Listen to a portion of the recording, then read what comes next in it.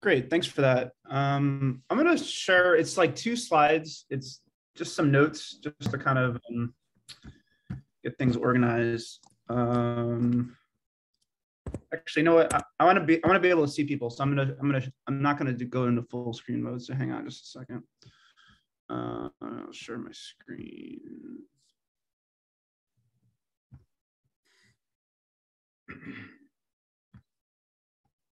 All right. Bigger. Okay.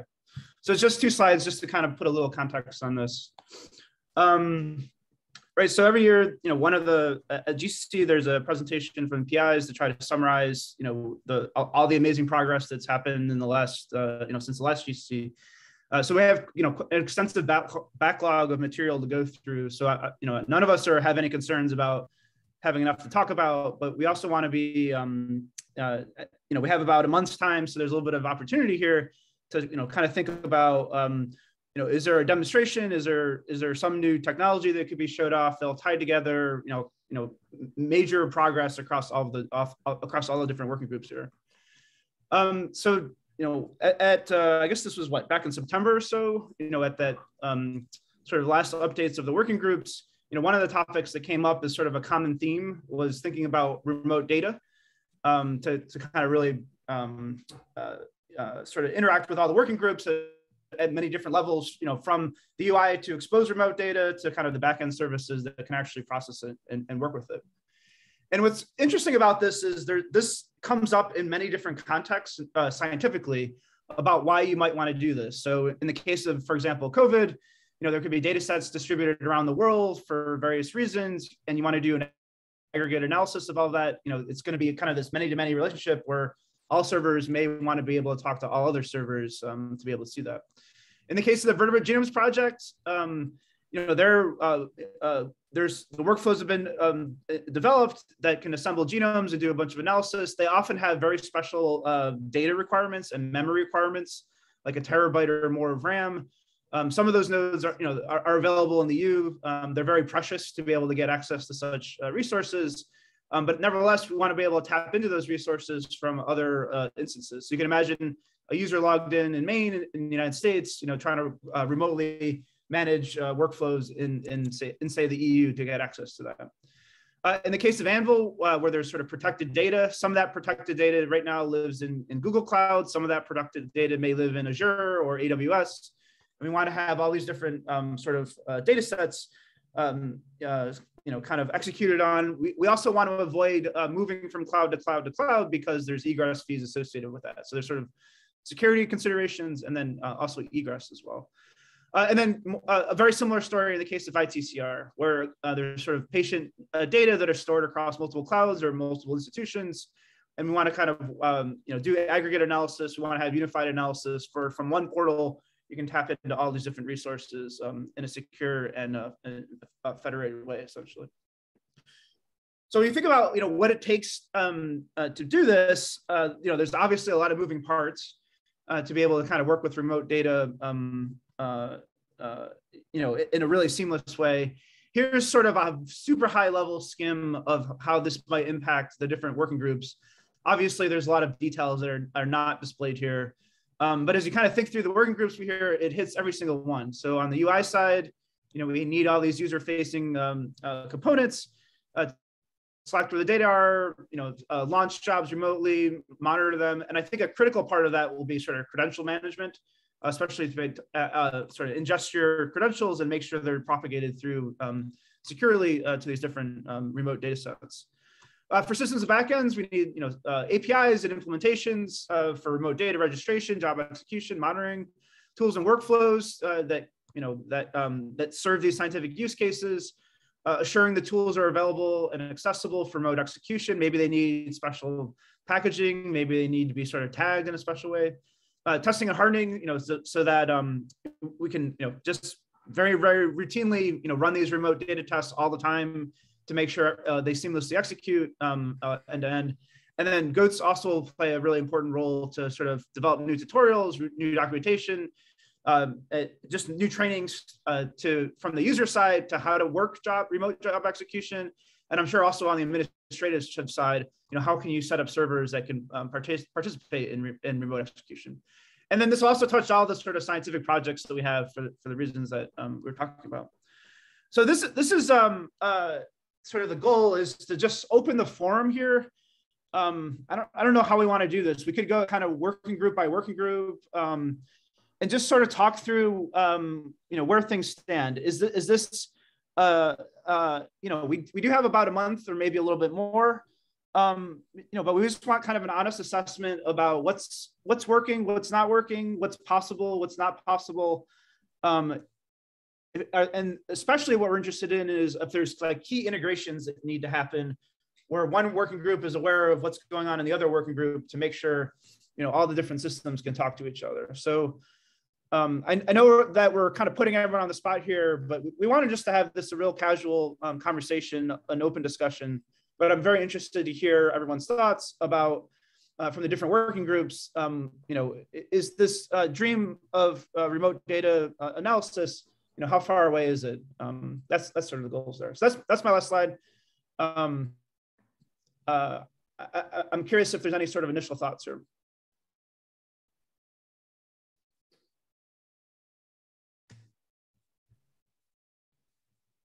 Um, maybe if we can um, describe a little bit sort of the flow of the demo in ideal case, then then perhaps then working groups will have a better understanding of what's what's uh, where they where their chunks start and end and what's involved. So. Um, I mean, so I don't. I mean, the one thing that strikes me here is that it's you know the work that has to be developed is a purely backend at this point, I think. Um, and like the idea of taking things from another server. I mean, you have to flesh that out a little bit. You can cheat, but that sounds like a multi-year project. Um, and we'd need more resources for that.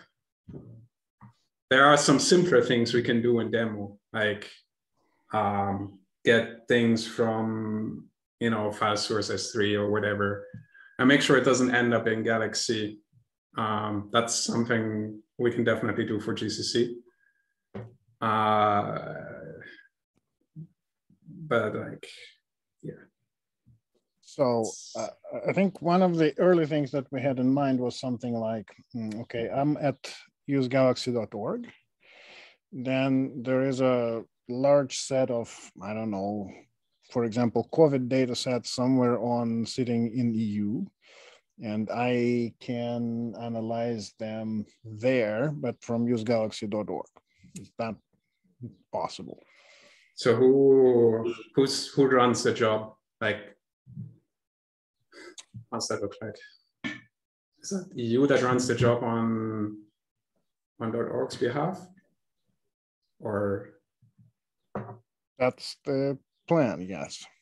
Unless I understand this wrong, and please John and and uh, Bjorn might correct me here.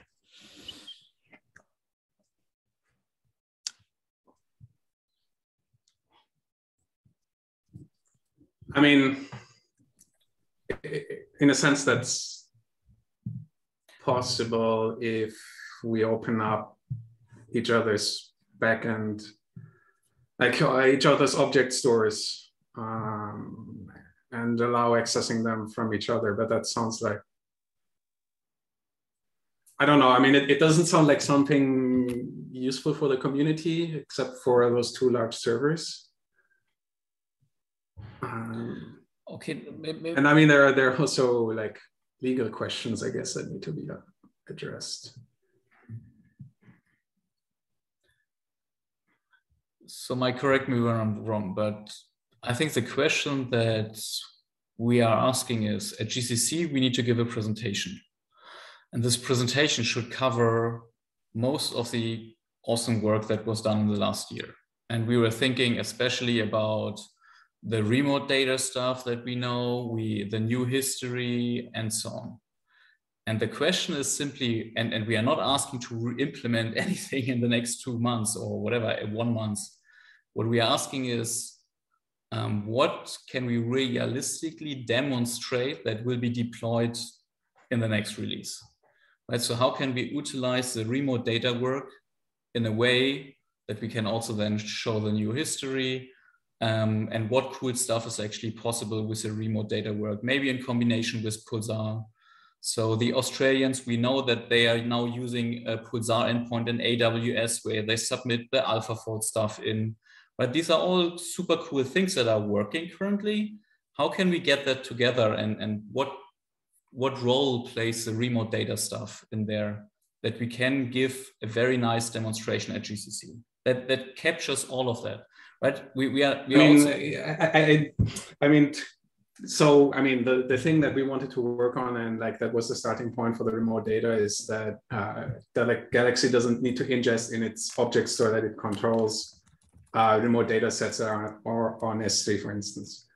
So that would be possible now, right? So you can you can say in your file source, um, there's an S3 bucket, the user can select it, and instead of uploading it into the history, uh, you get this deferred data set. So that's um, very minimal metadata on the on the Galaxy side will appear in the history, and then once you run it, we can materialize that data set on the job worker. So there's no, I mean, Galaxy doesn't hold on to the data.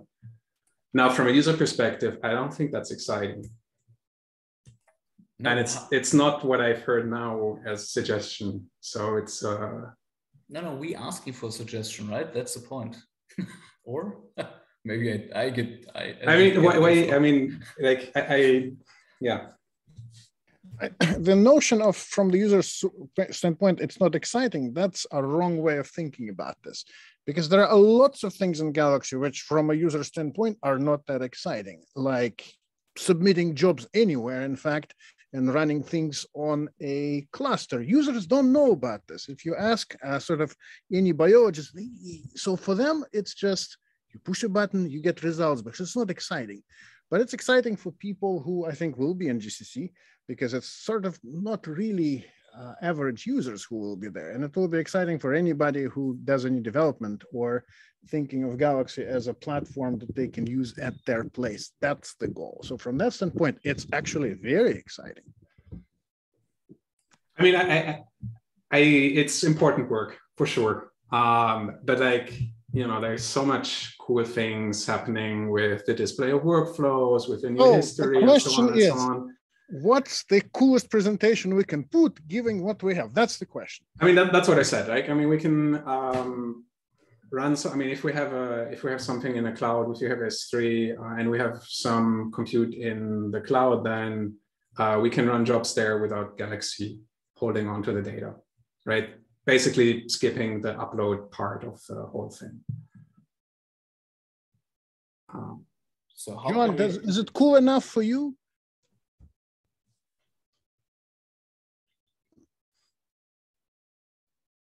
It's certainly cool enough for me. I mean, John, uh, you've worked on this, right? And I'm sorry that I called it not exciting. It's totally exciting to me, but it's just.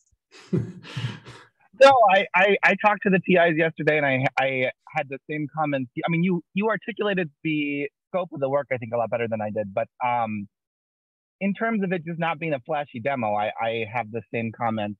Um, you know, even if I think of the work I've done over the last year, I don't think deferred data is the most like exciting thing. Like if I if I had to go up on stage and, and talk about something, I, I mean the tools, the clicking on the tags and workflows. I mean, like there's GUI things. There's things that you like click on and interact with and that feel more exciting. Um, and then there's the the political. There's like the Pulsar network, right? Like if I think about remote data, I think, you know, it's it's really I mean, it's a technical question in a lot of ways, but it's also a political question, and it's a question of, um, so so to my mind, uh, the sort of stuff like the Pulsar network is more exciting. Um, but but yeah, John, uh, but John, how can we demonstrate the Pulsar network together with remote data? Is there is there a, a cool way where you can? That's happening in June, right? I think that we need to figure out how to get the remote. The remote data stuff is cool, and it doesn't quite work with Pulsar yet, right? Like it's. uh I mean, hopefully we get there, but um, yeah, if, if we could do that, that would be great. And maybe that's the point of this meeting is to figure out how we get there. But um, yeah, I, think the Pulsar network enough is is enough. I guess is what I'm saying. But may, maybe I'm wrong.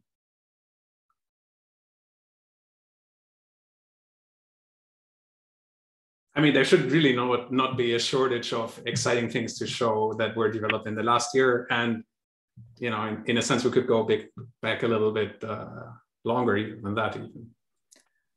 I mean, the new history, like you can do a full talk on that. I think uh, all the little new cool bells and whistles. But there will there will be talks, right? I mean, there will be talks about the new history and so on. So I mean, we, we can fall back to the usual PI talk and just give a overview without big connections. We just thought that it would be nice to have really a, a demo where we can highlight a lot of things that magically come together, right? And the workflow um, user interface and, and the new uh, histories, of, of course, they are part of that, but can we come up with a coherent story?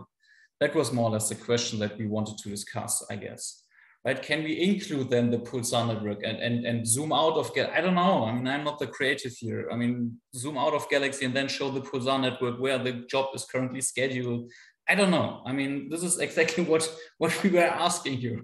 I think so. We do something like okay, so we do some analysis on remote data. As Mario said, it doesn't look exciting on the uh, slide presentation, but then that demo also shows the new history. And then once this analysis runs, we actually show another thing which shows that by the way, this runs there. So that kind of so it's a it's a demo which highlights big things that will, during the conference will be discussed separately, such as history, for example so i mean one thing that we could do uh, to build on that is um, you know show the things that don't look really that exciting and uh, you know put side by side how we would have to do this previously right so if you say okay now we get i don't know two terabytes of VCFs or, or something like that from an S3 bucket. And we say, okay, and now we start running the job. Um, and then you have this slide and you say, okay, um, if previously we had to get that to our Galaxy instance, well, that would have taken a long time before we ran out of storage. I mean, you know, that that's some sort of thing that you could do. And, you know, I mean, there are, there are some user interface components in John's work already I, I, that, I think, where you can also track where, where things are.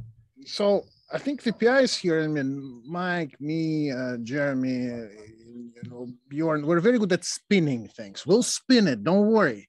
Just, just, just sort of walk us through. And that's not a question to you, Mark. It's a question to everybody. So, what? How would you? Because usually, you know, the previous versions of this talk were like, okay, here are PIs. They sort of, you know, sit down. This is sort of things that we think are cool. But I think that should be the other way around that should be what you think is cool and then we kind of make a big deal out of this and then you go in the details. So that's we're trying to sort of reverse the way this is done. And so so the question is how what's the uh, what what uh, what what are the important pieces here?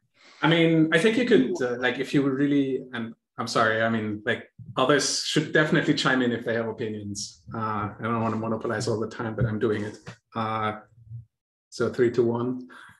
Well, but I mean, so one thing we could do is like Delphine has developed these cool workflows for uh, VGP, or Wolfgang has developed the workflows for uh, SARS-CoV-2, or you know, we could go with another workflow. We say, okay, uh, these are in the IWC, which has seen growth since last GCC. Uh, we will get them through a TRS server, which is also relatively recent work. We can uh, I mean, if, if you say this priority, we can we can improve the import interface a little bit. Like John has worked on the uh, on the workflow list. Um, we can say, okay, uh, we're running this now, and the input data sets they're not actually in Galaxy; they're coming straight from S3, um, and they're not at any point in time entering Galaxy's object store. You can show this in, in the data set. Um, and you know, you can end with uh, Dan's new improved Jupyter Notebook tool that can produce outputs. Um, I don't know. I mean, this seems like um, it, it doesn't touch everything, uh, but I mean, I guess that's a coherent story.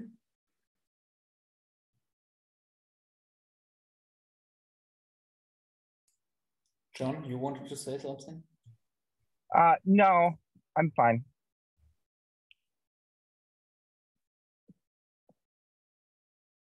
Well, John, not to put you on the spot, but um, Assunta reminded me that you submitted an abstract to talk about remote data. Could you maybe say a few words about what you're envisioning you would present?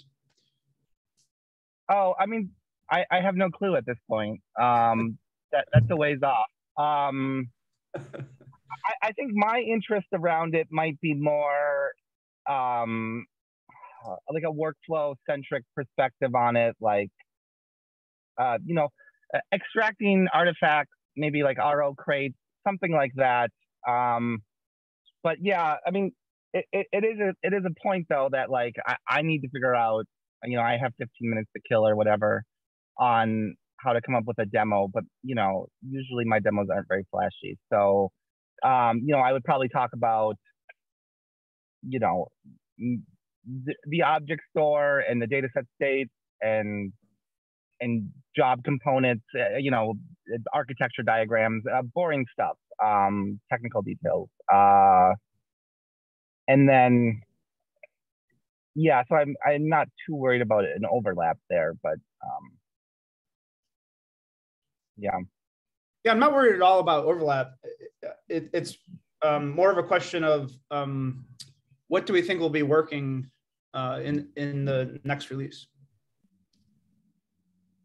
Yeah, I, I, think what Marius said is, is is the correct thing. Like you can upload data and it doesn't need to go into the object store. You can have data sets in Galaxy that that don't actually materialize into the object store, um, which we were told is a, a huge important thing to do, right? Um, sure I is. think it sure is. Yeah, I, I, I mean, I, I don't know that I agree, but it's, uh, you know, it's, it, it is what we've managed to do. Um, and it, it was a lot of work, right? Uh, um, yeah.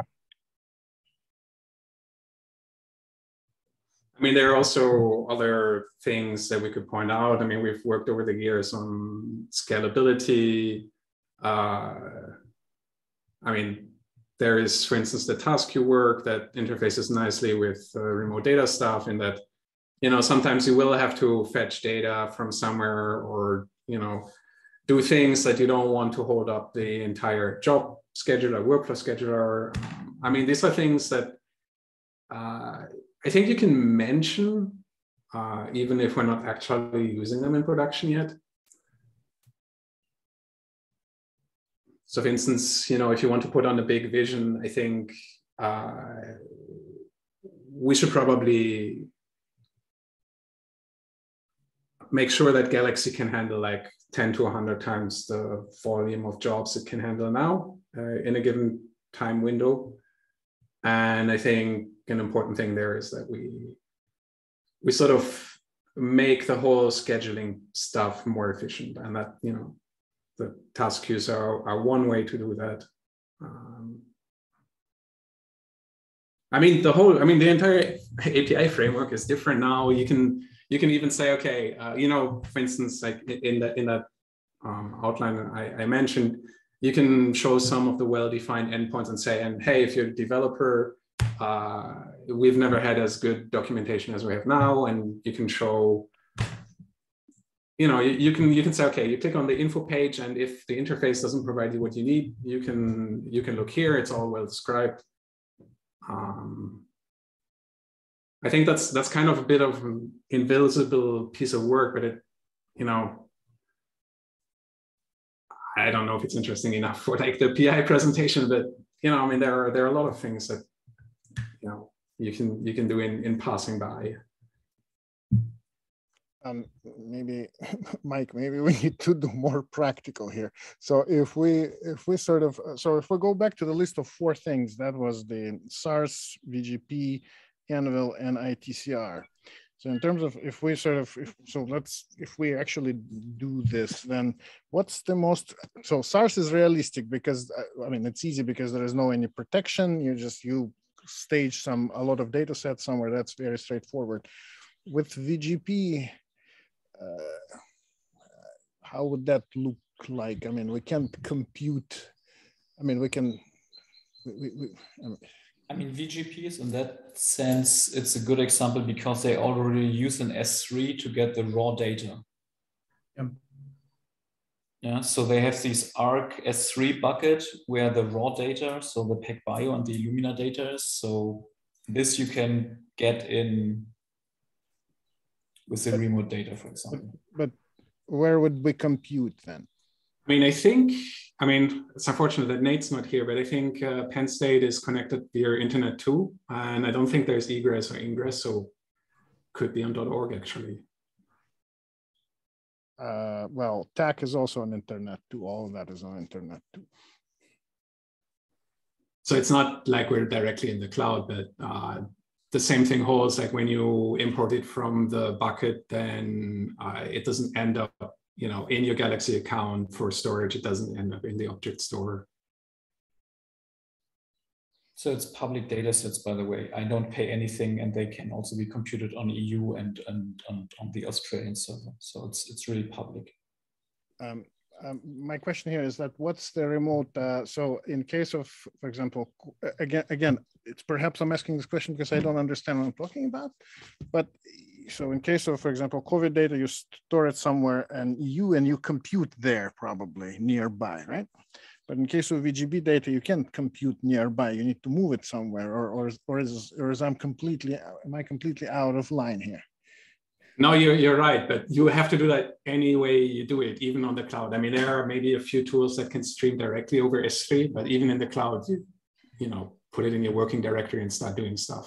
Okay, but in terms of actual presentation, so with, with COVID data, it's easy because we sort of have, it's small, it's just lots of small data sets so we can move it. In terms of VGP data, so for example, in case of COVID data, it would look like uh, there's COVID data on EU and I just run my workflows on it on EU infrastructure. That's overall. But in case of VGP, you get it from the ARC to the big memory nodes and then start running. Is that how this? Okay. Um, and with Anvil or ITCR, what would be the similar scenarios? For Anvil, this is absolutely essential, right? Because Galaxy is uh, effectively ephemeral, where each user boots up their own uh, server. So the data reside in buckets, but you know, as it is now, step one is to do this huge upload or kind of transfer task from the bucket into the Galaxy instance. But if, if we could kind of skip that huge upload and just sort of, you know, somehow ingest a list of URLs or, or you know, whatever the right mechanism is, um, that would be huge. That would be, that'll save uh, users time, uh, huge amount of space, huge amount of everything. So it's a huge win. Uh, Jeremy, do you want to say a bit about ITCR? Yeah. I, I think that in thinking about this over the last 48 hours or so, there's this key distinction that we should all try to make, which is there are two pieces of the puzzle that I think were perhaps confounding sometimes. Number one is that when you upload a data set into Galaxy, when you use deferred data now, it doesn't go into the store. But as Anton was saying, the question still then becomes when you actually do the compute, can you do data local compute? And I guess I had naively assumed that they would be intertwined, but they're not right? You can still defer that data, not put it in the Galaxy store, but also not do data local compute and still have to bring it over. Um, in the case of ITCR, it would be nice to have both, to be honest. We would not like to put it into the Galaxy data store for all the reasons Mike, Mike articulated, but also we would like to do data local compute. And it seems like the data local compute is still a ways out. Um, and maybe the uh, unfortunately the more easily demoable thing in some sense if you say look i don't have to move these terabytes of data off the cloud. So, um, so yeah i mean we don't have a solution like where you can say you know whatever you do it'll be data local without writing a job router or something like this. But they do i mean I think there are ways in which you could determine based on you know where the data is, choose you know in Galaxy terms the destination. IROS. Uh, so that the compute is closer to the data. Um, I mean, it's it's not a streamlined thing. It's not as fancy as other systems offer. Uh, but overall, you know, you you can set it up, especially if you're in like a uh, yeah, well, I, I don't really know how the ITCR setup looks like, but um, you know, if you know your infrastructure, you can write a rule to match that. I think. I mean, that that's with a big question mark because I haven't done it, but just like overall, it seems like you can probably do this. The ITCR setup is pretty straightforward. There's terabytes, hundreds of terabytes of data on both GCP and AWS. Some of it is public, but we still don't want to move it because it's just too large. It would be nice if people could use use galaxy.org or use galaxy.eu to analyze those data sets on the cloud. What I think, if I understand correctly, I'm hearing is the hangup right now is we don't have compute set up on either of those clouds. So deferred data would work just fine today, right? You, you boot up or well, you go to use galaxy.org, you say, I'm going to point to this set of 100 files. It won't be slurped down into use galaxy.org's object store. Fantastic. But when you run the job, you would slurp all that down into worker, yeah uh, into the worker node, and that is still pretty prohibitive. Yeah, I mean, depending on where your worker is, right? So um, if it's your responsibility to make sure that you have a worker in GCP and one in AWS, um, and then I believe we could do a little bit of magic to determine whether we want to send the job to uh, GCP or AWS based on the URI? Um, yeah, I think, I mean, at least for things that were, you know, that come straight off the upload, yes. Right. I mean, after that, immediate data, intermediate data sets still go to the object store, right? I understand the intermediate data sets still go there, for instance. Yeah.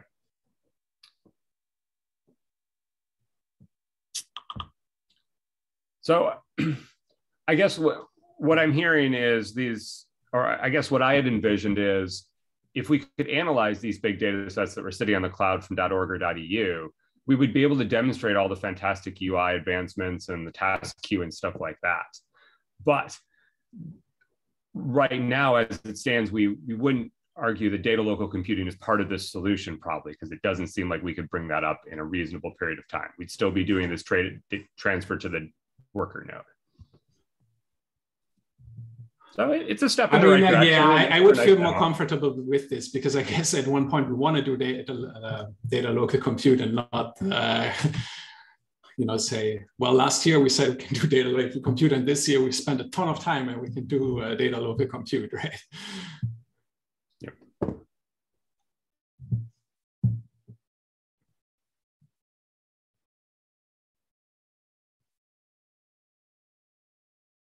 One approach here is then to forget the data local compute part, focus on large scale analyses of some data sets, and, just walk through how the UI facilitates large scale analysis through one of these scientific drivers. If it happens to be a personal instance on GCP through Anvil, that's okay because data local compute means transfer within a cloud, and, and that's fine. Um, if it happens to be on EU or .org, that's also fine as long as the data sets are small and can be moved quickly. Or we can, uh, as Mike would say, do a Julia Childs type of demo where we cut out the, the middle piece where it takes a long time to do that data transfer and the data analysis.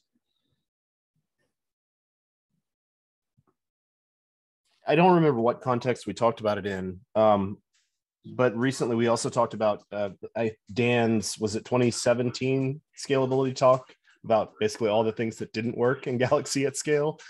We thought it would be cool to revisit that and you know basically try the same types of things that he did um, and just show the difference. Uh, I don't know that that's suitable for this particular talk, but we thought it would be kind of a cool thing to look at for some context. I mean, I guess it's a it's a bit of a developer motivation thing. Yeah. Right? I mean, that's the kind of thing where you know Nicola is processing six hundred thousand data sets, and he says like, "Well, it's taking a long time," and then we can zoom in on why that is. Um,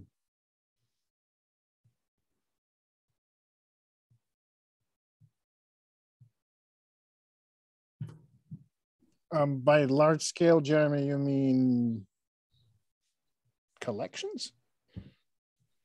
Yeah, more or less. Uh, perhaps I'm missing something, but collections seem and the new UI seem like a large part of this demo, Of course. for instance. But how would so let's so suppose we go to well, I guess with VGP it actually works well because you have this file browser now. But for example, if you how would you as a user access uh, I, I'm to be honest with you, I'm so tired of COVID, but so some set of sequences, okay, it will be COVID probably, but uh, so some set of sequences at EU from dot .org. How would the interface look like? Is that going to be a library, or is it going to be the same file browser? I That- think that's Anton- the Go ahead, Marius. I'm sorry. I think that's the part that I don't think is realistic. Uh, unless you know we sync this manually in the backend, uh, but you know the accessing data from one server and another with a user interface and not with a bunch of cheating involved. Okay, so that's what we want to know. That's basically so then that would guide us to actual demo. So that's not possible. Okay. Uh, I didn't say it's not possible. I don't think it's a good idea to present it. Mean, if I had like a, a budget and uh, and I wanted to do a cool demo, I was thinking about something Mario said, and it would be kind of cool if you could have side to side um, loading, let's say, 2,000 COVID sequences into a history. Um, you know, one with without deferred data and one with deferred data, and presumably without deferred data, the whole demo is just sitting there. Um, and with deferred data, you can go in and you can start showing off history features. You could start, you know, running analysis as needed on them. Um, that would be a really cool demo. Of, I- I, I mean, it, it would be flashy at least um, to sort of see just one side spinning and, and on one side you're you're getting going faster, and it sort of it That's- skirts around the issues. Um, And Anton, I, I sent you, for instance, for instance, a, a GIF um, with upload, right? I mean, I uploaded 100 data sets in uh, using the message queue. Very, very small data sets, but like, uh, you know, the 100 data sets, they just turned green. I mean, there was no intermediate thing going on. Like if, if you did that side by side without the message queue, I mean, that would take like a minute or so. Yep. I guess that falls in the similar category. yeah, and that, then it becomes an hour or several hours if it's large data, right? That's undeferred. Yeah. okay. But where do I start? So how do you start that? What? So suppose you're doing this demo. How? What, what's the what's the starting point? I mean, think the starting point has to be that you have a public Jeremy. Go on. I think the starting point has to be that you have a public data set out there in the world, Anton, that is very large Okay, that's easy. and has a lot. But I mean, your question is really interesting. I don't want to derail us, but the you're talking about federation, so to speak, when you ask about .org and .eu talking together. And federation is a really interesting concept. I don't think we've really pushed on it much, but from a user experience standpoint, th- this may have some legs down the road where you could potentially use a, a single sign-in to access data across EU and .org. I just don't think it's possible for GCC. So I guess that's the distinction is we the, the two servers can't talk to each other. What we want is a server that talks to a large data set that's out there in the world. I think I frame it wrong. I think really what I meant is that we don't really have to talk to you, but I'm having data stored at de.NBI infrastructure in Germany, same infrastructure that uh, EU is using. Yeah, I, I think I, that's that was the original uh, plan, not not the instance, but but it's just the, I, I have org, but the data is in German or somewhere else, not in the US. I mean, it can be in US, but it's flashier to be somewhere else. Yeah. This goes back to data local computing, this idea that we've got the piece in place to say, oh, I know that there's data out there that I want to work with. And I Mhm. can now talk about it and operate it on it in Galaxy. But when I do that operation, I still got to localize that data or copy it over. I can't run the job way over in Germany right now because we don't have the compute set up. I mean, that would be really cool. I mean, yeah. this this it, I mean, it's some sort of collaborative scheduling over shared infrastructure. Um, can you can you use Pulsar for that right now? Just set it so if you have a Pulsar instance running in AWS somewhere, can you connect to it from a local Galaxy on a laptop? Because that would be a cool demo to show. If you have data in AWS, a Pulsar node running in AWS, and you're on conference Wi-Fi, but it actually works, right? I mean that that has worked for some time now, right? I mean, with the deferred data and well, no, right. So that's okay, okay, okay, okay. That's all I've got. okay. So exp- explain again as for an idiot. So you just go ahead. So you have a laptop, okay? Yeah, you've got a laptop with a local Galaxy that you just set up. You connected, you have some Pulsar node running on AWS. Mm-hmm. You're able to dispatch jobs to that Pulsar node, use deferred data to get data out of S3. So it's local to AWS, local to your Pulsar node, but you actually run the jobs from your laptop and then you see some result at the end, right?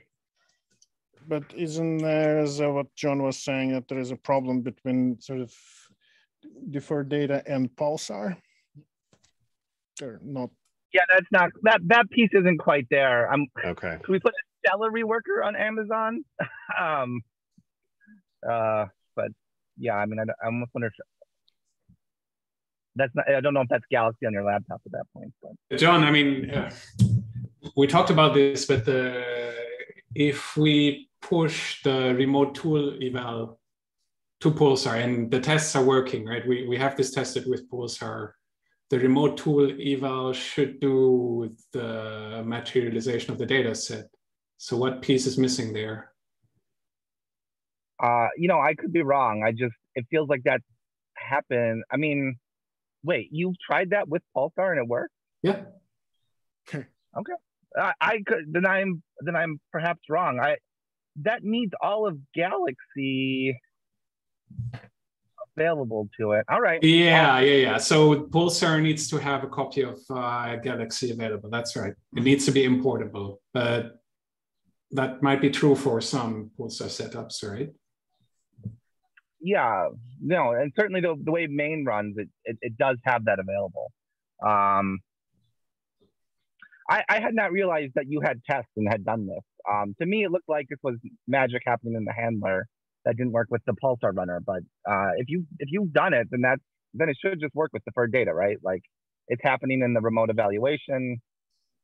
Um, you know, we we haven't sat down and like looked at it, but we we have tests, unit tests. Yeah, I mean, we, we have tests, but sometimes they're working yeah. so well, they're just using some other thing that uh, that made it magically pass. But um, right.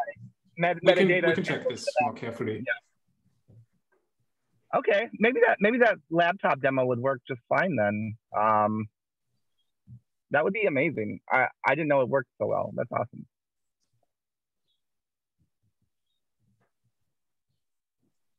So it would it would be nice to continue to hack on it to the point where if you did a pip install of Pulsar, you didn't need Galaxy in order to get it to work. And if we did a the two pod Kubernetes version of this, so it worked with Kubernetes, blah blah blah. I mean, but the Galaxy app itself should be pip installable. So with some luck, that might work out.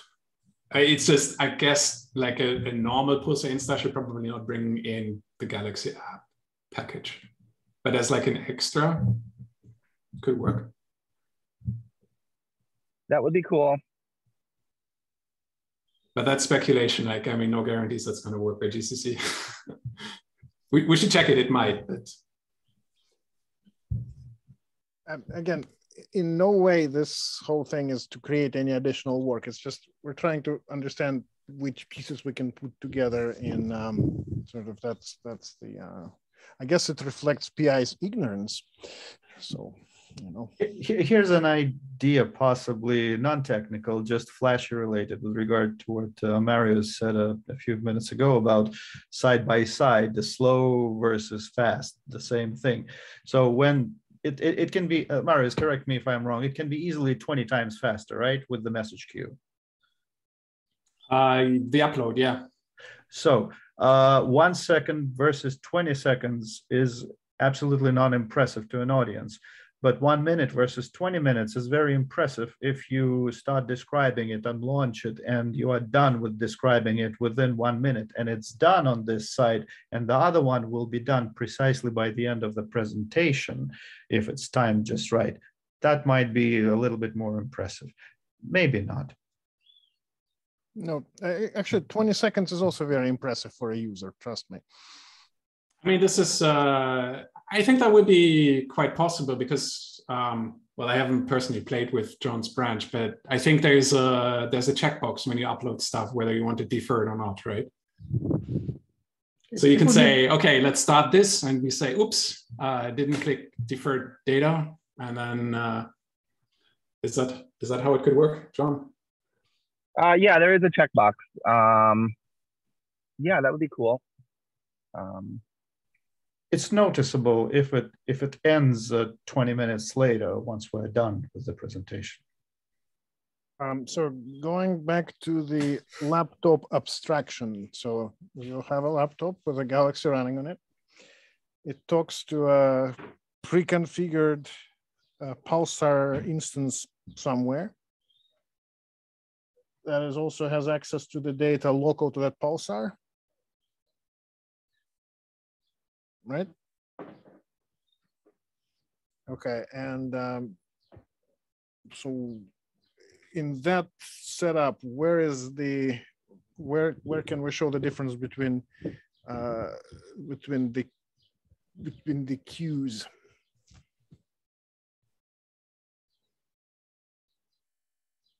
One second, mean- one second. You would just see this in your history, right? One data set will be done and the other will be running. Yes. So and and and yeah. I mean, in this analogy, we could actually have two separate laptops, have them race Yeah. against each other. Laptop race, yeah. Okay. We'll have to have two projectors though. That complicate our GCC preparation significantly. Who, who suggested that? Was, was that because we haven't uh, modernized the multi-history view? Um,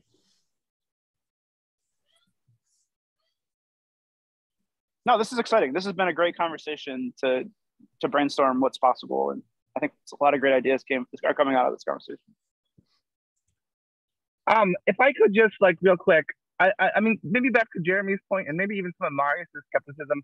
To me, the lo- data local compute has been possible for five years in Galaxy. I, I, I would like a at some point like a a checklist or something of like, you know, we have these pieces that allow uh, an admin to deploy a solution that is takes advantage of data local compute, right? Um, and that is true with or without deferred data. Um, so I'm sort of, uh, I don't know. I, it would be nice to to know what it would take to change the minds of the people in this room uh, that Galaxy can do data local compute, um, and and what what what what we feel other services have that we don't. I mean, some of them are kind of obvious, but I mean, I, I think in terms of allowing you to flexibly deploy things, I think we actually do better than everybody else um, on this um, narrow point, um, not worse.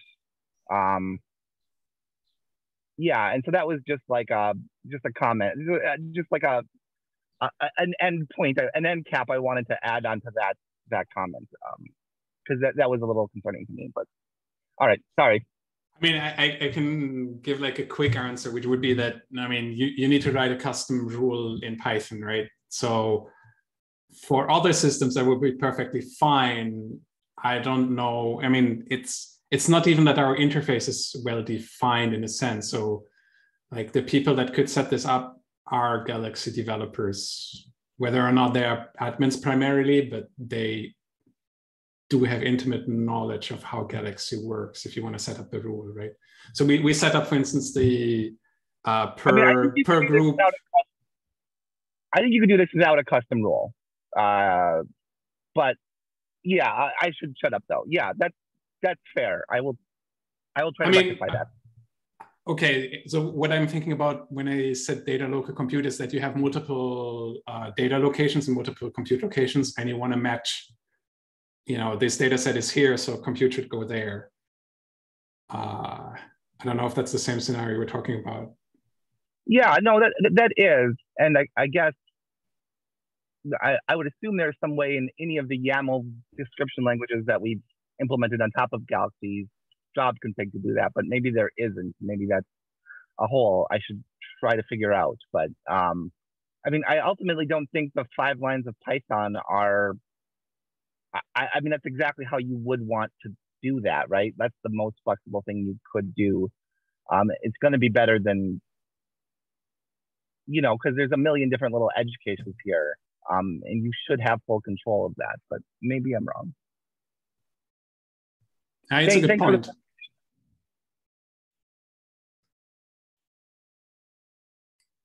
Yeah, I, I would agree, and I apologize, John. We we aren't giving due credit here to what's out there. I, I, do concur with Marius that it feels a little hard right now to do data local computing, but I definitely see a path with all these different pieces now that we could do it. It does require a dynamic job job destination specifier. Apologies for mangling that particular piece. Um, and it requires setting up the remote compute.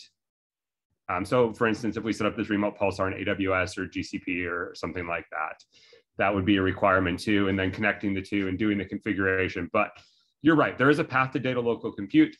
Um, I think if we cleaned it up just a little bit and documented it, we'd make a lot of progress there.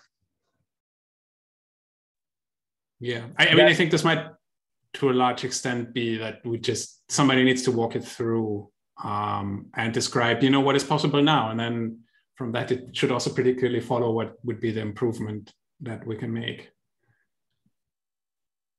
yeah, yeah. And, these, and I can tell are... you, I'll ask.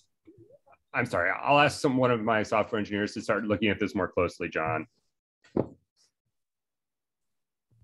It's also worth looking at Nuwan's work on spinning up jobs on clusters. You know, like the the, the pulsar configuration piece is a thing there, but I know that Nuwan has done a lot of work on that to, to make that automated. So, yeah, okay. yeah.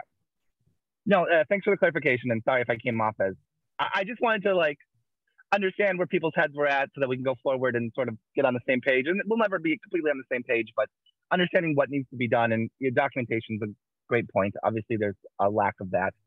Um, all right, awesome. John, you didn't even say that you hate Galaxy today, so I think we're improving. Yeah, and we're past the hour mark, so it's too late. Grr. I mean, the uh, Björn asked a, a, good question. Like, can we schedule workflows in a way that intermediate steps are not transferred? And I think the current answer is no. Uh, but I mean, it's a cool task, right? It's something yeah, we should work towards too. With extended metadata, you kind of can, right? Like by it means it depends on what you mean by transferred, right?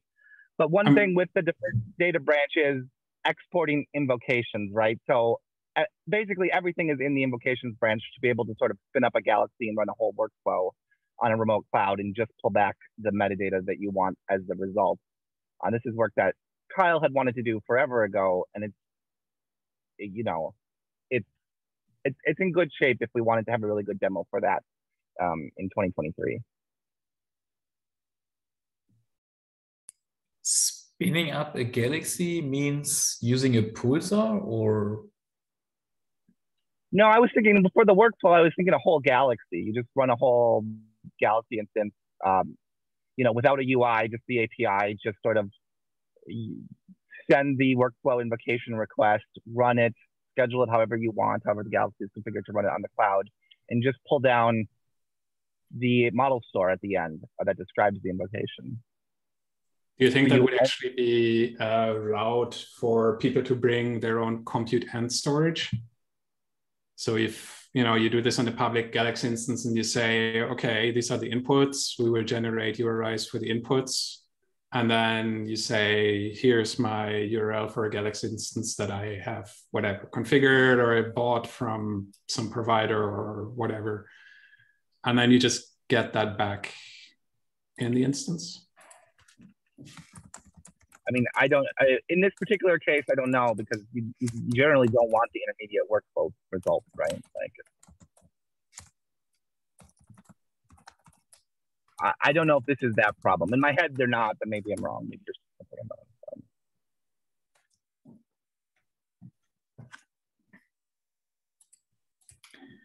Okay, I think we are past an hour. I don't want to keep anyone longer, but um, for me it was very useful, but also kind of mind blowing. Okay, I'm I'm still confused about new things. So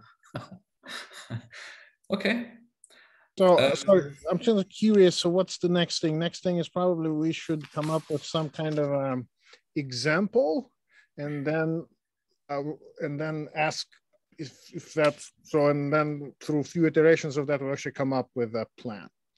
yeah, I think we should spend one dinner in Montpellier to to sketch that more out, the initial ideas here, um, and then come back with a more concrete plan. And John will guess will be zooming you. Okay.